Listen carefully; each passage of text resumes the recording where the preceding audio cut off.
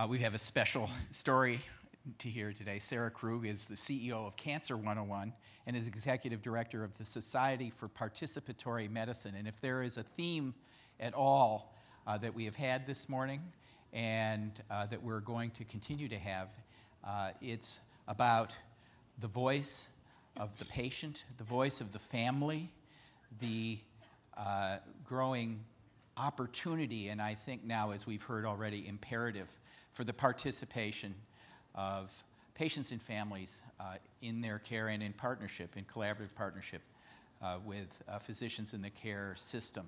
So, Sarah, we're glad to have you here you. for what you will uh, share with us. Sarah's originally from Houston, managed to get out of there and uh, come to uh, study at Princeton, now lives in New York. Sarah. Thank you. Thank you. So, today I'm going to talk about amplifying the voice of the patient and co designing healthcare for patients with patients. And I'm going to start off by reading a few short stories. Once upon a time, there was a 13 year old girl whose mother had overcome breast cancer several years prior.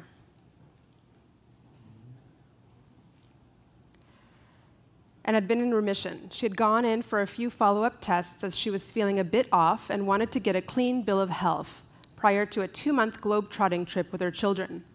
She received the green light but called one last time before boarding a plane with her family because she knew something wasn't right. But once again, her complaints were dismissed. During each leg of the trip, she got a little more lethargic and attributed it to the long days of sightseeing.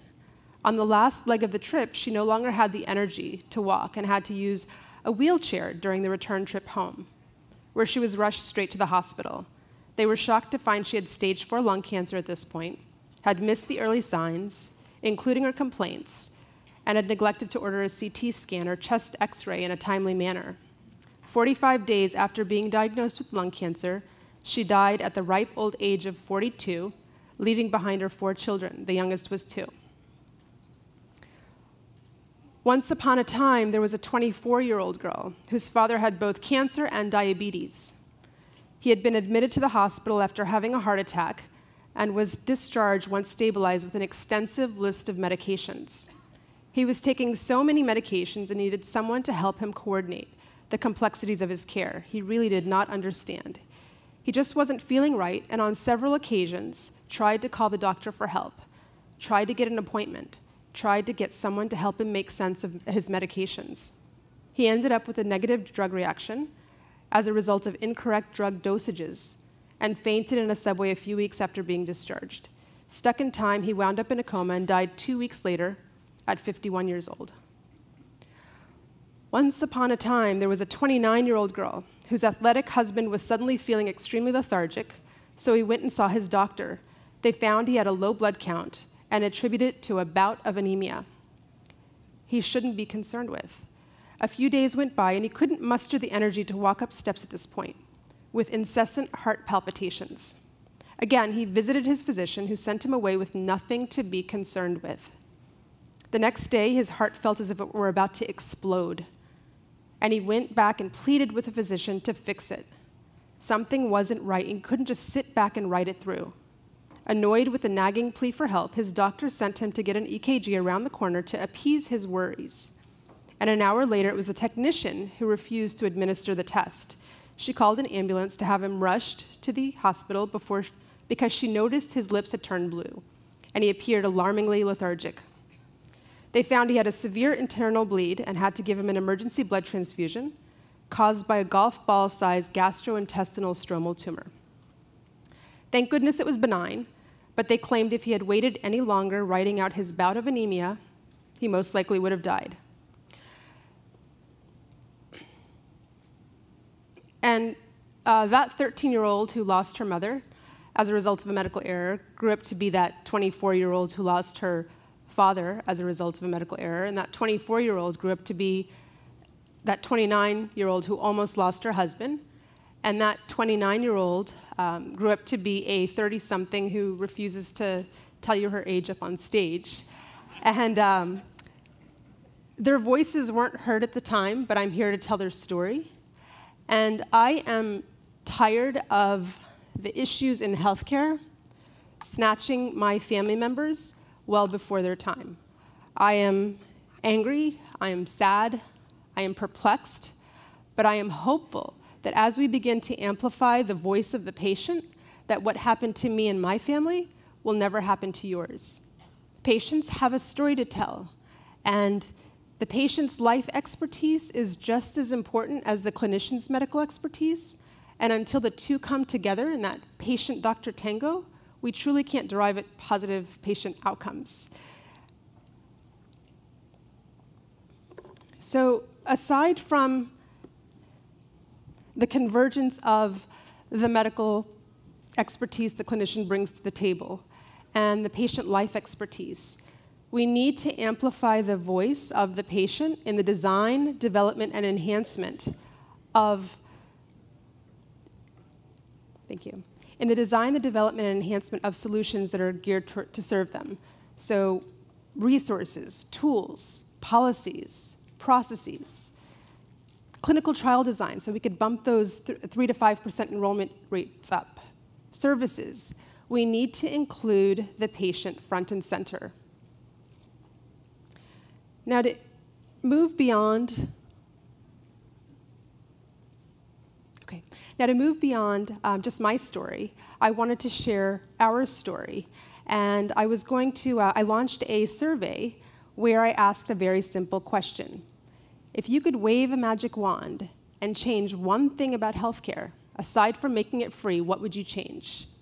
And I got some really interesting answers, and I was going to put it into a fancy pie chart and bore you to tears, but instead, I uh, put it into a video. It's a, a disclaimer I have no videography expertise, it's a homegrown video, so brace yourself. If you could play the video, please.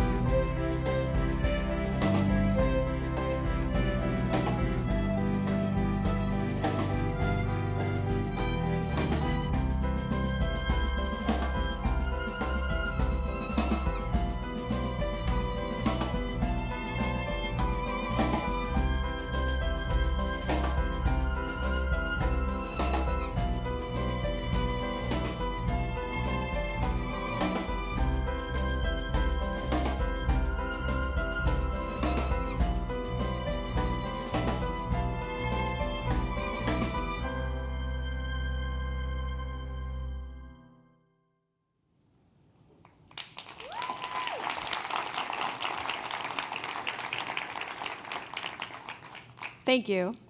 So, to illustrate the point of partnering with patients to design a solution that's geared towards solving one of their problems, I ran with one of the ideas that was cited in the video, which was banish the free show hospital gown. And I brought together a group of patients where we started to look at what's working with the hospital gown, which was next to null, and what's not working. Um, what, you know, with some of the redesigns, we also looked at what's working there, what's not. And um, we came up with a hybrid between a two piece uh, kimono wrap top and basketball tearaway pants. And so I worked with a few fashion designers who sketched up a few prototypes. And then I had a patient stitch it for me in a day and a half just to illustrate the point. Don't worry, I'm not going into the hospital gown business. But I'd like to introduce the lovely Megan Kvedar, who is going to model our beautiful hospital gown.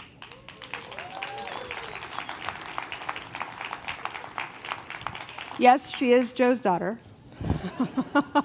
Thank you, Megan. so here's my napkin strategy in terms of participatory co-design, and I'll give you a prettier version of it. It's basically a six-step process where you collaborate with the patient, you co-identify the solution, the, uh, the um, issues and the priorities, you co-explore, you brainstorm solutions, co-design, which is the creation phase, co-implementation, which is the prototype phase, and then co-assessment, which is the continuous improvement phase. Again, very simple process, but involving patients every step of the way to ensure that their perspective is heard throughout.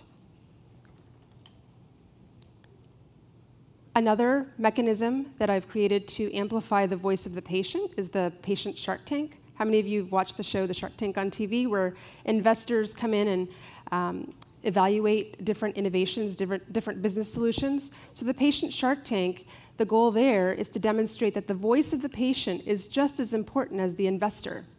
So basically, the way the patient Shark Tank works is that innovators, whether it's a pharmaceutical company, a startup company, a payer, a hospital, comes in and pitches their innovation to a panel of patients. Um, we've co designed a scorecard that they use to assess those innovations that's broken out into 12 domains. And essentially, it's a great way for patients to provide perspective on the design, the development, the enhancement of a solution that's geared towards solving one of their problems. We've done 10 events so far. We're working on a virtual build of the patient Shark Tank. But it's a great way to amplify the voice of the patient. Um, another key issue that was cited in the video was I'm overwhelmed, information overload. Patients receive so much information as they're interfacing with the healthcare system. They're navigating the wild, wild west of the web, and they don't know where to go for credible information. So we took that problem and we worked with patients to co design a solution that's in the works right now. Um, it's called Prescription to Learn. And basically, it allows patients to search on the condition that they need, select the phase in the journey that they're in. So, in this case, let's say they select newly diagnosed. They would then select the type of resource they're looking for, whether it's an online uh, resource, whether it's a mobile app, whether it's an online support community, live support community, whatever it might be.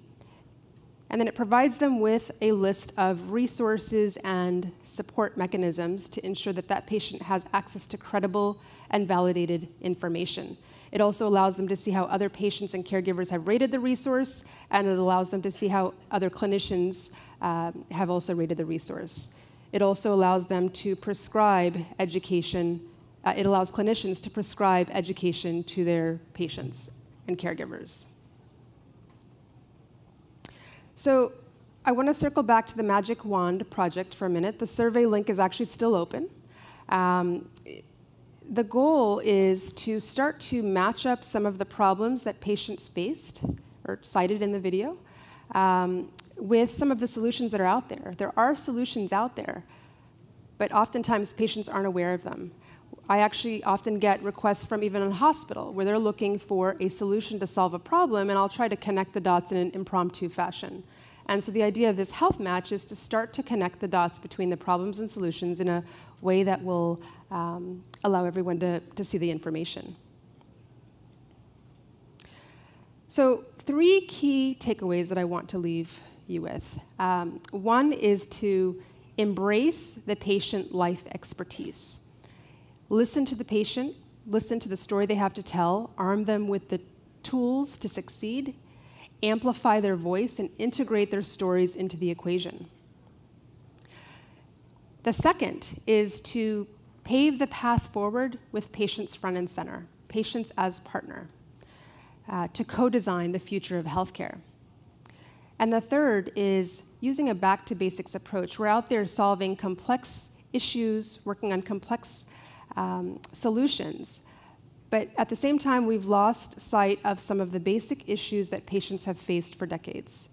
And so I urge you to circle back and ensure that we are accounting for those issues as well. Um, so this was the first time sharing my story to a thousand people. I'm not sure what I was thinking there. And I thank you for listening. Um, I, I, feel like this was somewhat therapeutic. Um, conference therapy, although I think I deserved a couch instead of a chair, but I won't complain.